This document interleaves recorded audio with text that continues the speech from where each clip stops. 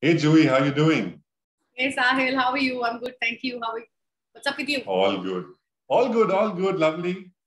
One day at a time. What have you been up to? I've just been working a lot and enjoying myself like crazy. I I know it sounds uh, a little oxymoronish, but it's true. I've been pretty happy. It's been a crazy last few months for me. So Hmm.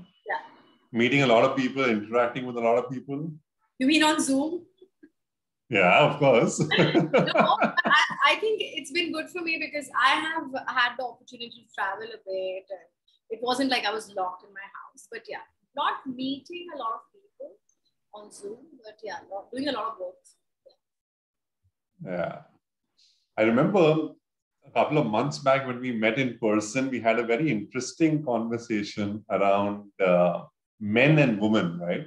Hmm, and yeah. maybe we left that conversation somewhere midway, and I thought it'd be fantastic for us to actually talk about it at JLT just like that, right? That's awesome, man. It's, it's amazing that you're having these conversations. It's really cool. Kudos. Yeah. Thank you. So, so let's pick from where we last left. Why is it that men find it so difficult to understand women? I think uh, the answer is in the question because men are expecting women to answer that question, firstly, which is very interesting in itself. I think there's a huge transition with, uh, you know, I mean, back in the day when an Alan Pease wrote, you know, men are from Mars and women are from Venus. And I guess we got all ambitious about meeting somewhere in the middle. And now men are confused because they don't feel as Martian and women don't feel as Venusian, I guess. Uh, you know, there's this Instagram joke I read, like it was like this post, okay? And it was like, you know, I'm slowly turning into the man I wanted to marry. And as someone in her 30s and who's managing her own, you know, business and home and everything, and I'm like, oh my God, that's so true. Uh, because both men and women have been uh, trying to adopt and improve and uh, you know get insights into how they can do better with each other and within themselves in respect with the relationship that they have with each other. So i think men are finding it pretty confusing because uh, like say someone like my brother uh, you know who, who was raised by a housewife. So he was used to seeing my mom pack a dabba uh, you know, when he was a child, she would say, she would hold the bag, I remember, as he put it on before he got into the, you know, the bus. So he's used to that visual, you know, of a mother, a mother's, you know, she's coming again and saying, ek aur paratha, ek aur roti. So he did not see his mother drive. He didn't see his mother pack a laptop and leave at nine in the morning. And that has changed. So, you know, uh, men have also had to deal with women gaining their own financial independence becoming um, less shy, more bold, I guess. You know, so there's a lot that's Mm, changed, and I think the transition is creating a flux. Yeah, I, I like the way you put it so beautifully with an example closer back home. But if you actually look at it, societal ways of being have actually transformed significantly, right? Because earlier it was so cliche to say a woman gets settled when she gets married. And today, when women go out there and win Wimbledon's or go out there and come on the Forbes magazine, or you see women being there as 30 under 30, Mm. that is recognition for them. That is arriving in life. And it's not just about keeping your man happy, or it's not just about going there and ensuring that the household chores are done well. It is way beyond, and way beyond not just what a man expects, but also what a woman desires.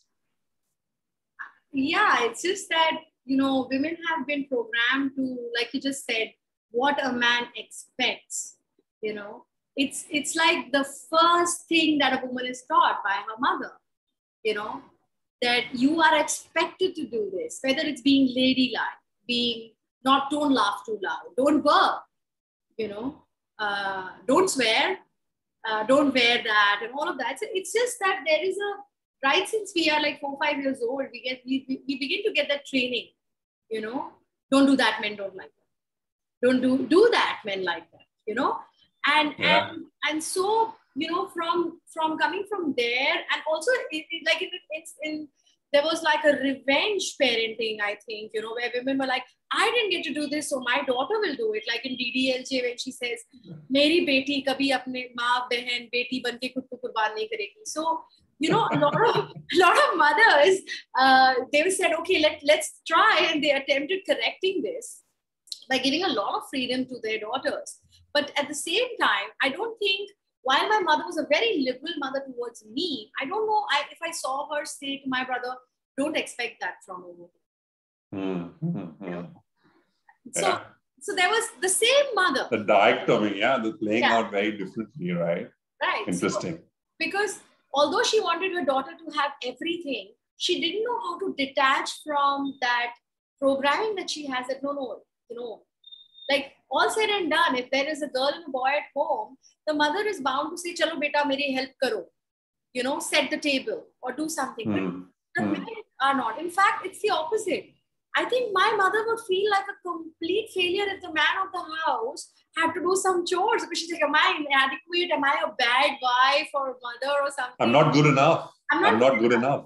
Yeah. Which I think is anyway the case, but oh my God, this is like a, you know, you just can't expect the man to uh, do all this. Yeah.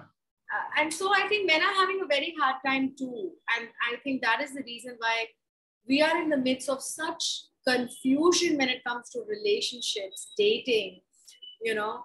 And we are challenging the norms, whether it's premarital sex, whether it's who wears the pants at home, uh, you know. So there's just too much new stuff in the market now in terms of the mm. scene and realm and yeah men are also trying yeah. i guess but we, it's it's a it's a big war like of a night or something you know yeah. But being a being a woman, do you think the confusion is there on the other side as well, or is there more clarity uh, in terms of expansion of roles, and therefore women bring a lot more clarity to what they want, what they don't want in terms of this entire equation?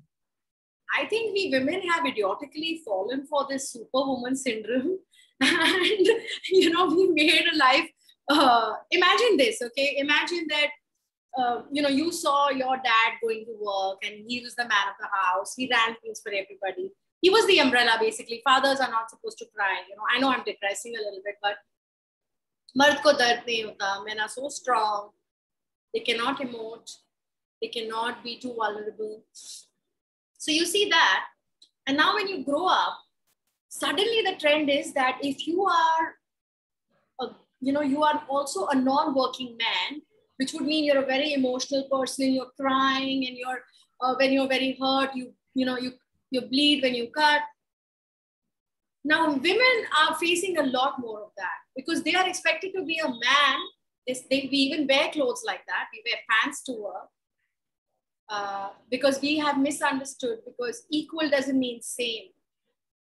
Maybe what was the inclusivity which was supposed to bring balance to that over aggressive, uh, not so humane culture where the big fish eats the small fish or whatever. Women joined that and vis-a-vis bringing some balance to that, uh, where we, were, we are nurturers, naturally we are carers. Uh, we can create and grow something into something very big. We're naturally mothers. But this whole tug of war that's happening inside, especially the, the modern woman, the contemporary woman, the power woman, uh, she doesn't know because she's confused. You know, and that's why that's why there's so much spirituality being told. I mean, uh, because there's so much need for it. Why is yeah. it that people are doing so well. They have uh, the money, they have the success, men, women alike. But there's so much disparity emotionally. There's so much discord. There's so much loneliness and depression because of it. I don't know who I am. Am I supposed to be better than the man? Am I supposed to be the man? Am I supposed to be the woman now? I don't know. It's too many roles. Hmm. I like I like the way you put it, right? Because look at it this way: equal isn't the same but yet you have alpha males and alpha females. So I'm one of those diplomatic people here because I was recently writing for uh, something like this that you know where you where men are alpha and, and it was a voiceover that I was writing for one of my products, one of our courses. And it said, you know, why is the man supposed to be alpha? Is he a gorilla or something like, you know? But it's true, yeah. So we do have that. And um, I just I want to re-look at the term alpha because uh, we have we have brought to we are the first to bring a scientific step by step a step guided program for women who've gone through a huge breakup. By huge, I mean you know maybe you were living in where it's a you know hallmark relationship of your life uh, breaks or a divorce. So we don't have uh, we didn't have anything like that. So we brought that, and it's called the Alpha Woman Workshop. But by alpha, we mean someone who can use the trauma and turn it like an alchemist into something that forwards her. Because, um, you know, we are resisting and hence things are persisting. And so we need to embrace more of what we do not like, uh, especially the harsh realities such as divorce, breakup, heartbreak, and stuff like that. So, mm. yeah. Yeah, but also look at it this way, right? Physical pain versus emotional pain. And play the gender card out, right? Yeah. When you have physical pain and you've met with an accident or you've hurt yourself, you're rushed to the hospital, there's first aid, uh, there's a surgery, all of that. Yeah. But are you trying to say that the bruises that get caused by sharp words hmm. or the bruises that get caused by emotional trauma where is the, the first state for that? Correct. How do you process those emotions? Yeah, because uh, sticks and stones only break bones, words shatter the soul. Uh, but if you want to multiply that by like uh, a very consistent shattering soul experience, then I guess the result of that is a divorce. And so when a person comes out of that, you know, like you rightly said, we it's the culture and it's our languaging it's our programming, it's our perception towards uh, emotional hurt, uh, emotional fractures, or mental uh, trauma or bruises, like you put it. Um, if I, you know, like for example, I remember when I was 15, I went through uh, an accident on the road. Strangers rushed to help me. I didn't know the first four people who helped me. Okay all the money in the family was used because if you see these teeth, they are they are ceramic. I lost them. I was like, you know, like that cartoon character with a crack. This, it was a very massive uh, accident, and my face was brushed against the road. And obviously, my parents were worried, "Ladki hai, chehre ko kharab nahi hona chahiye," and all of that. Not that they would. I'm sure they would have done the same for my brother. I mean, four tooth is a lot. Te- four teeth is a lot. So. uh, was there a thought in their mind ki shadi kaise? No, I'm sure having teeth helps in marriages, but no, I'm sure. It wasn't. They just really loved me. Uh, you know, but the thing is, this is back in the day when you know middle class didn't go for cosmetic dentistry. Hmm. Not, you know, and my father was in the navy, so it's more like the doctor which is available from the defense forces and stuff like that. So anyway. Uh, I noticed that the whole world shows up for you the minute they see blood and they see pain or accident, the screeching sounds, the car halting, people rushing towards you. Then just the whole world dances around you after that. From doctors, nurses, your family, everybody understands. I was in college. So Forget that, even strangers. Strangers, yeah. Yeah. But here it's the exact opposite. You do not tell your friends and family, in fact, because you don't want them to you know, uh, there's so much programming. Like if I'm down, if I'm emotionally hurt, firstly, I feel like a failure. If there's a mental health issue, I feel like a failure. I feel I've let my parents down. I feel I've let my spouse down. I feel like I'm letting my children down. I just take all of that, like that Hanumanji carrying that mountain, you know, Sanjeevani Booty ka opposite on it, because that's not healing you at all. And um, yeah, so the, the, just the way we look at it, there's too much taboo around it. When I went through my divorce, which was in 2016, it you know just until recently, and that was a big step for me because when I said, okay, now I have to talk about the Alpha Woman workshop, it took me so much.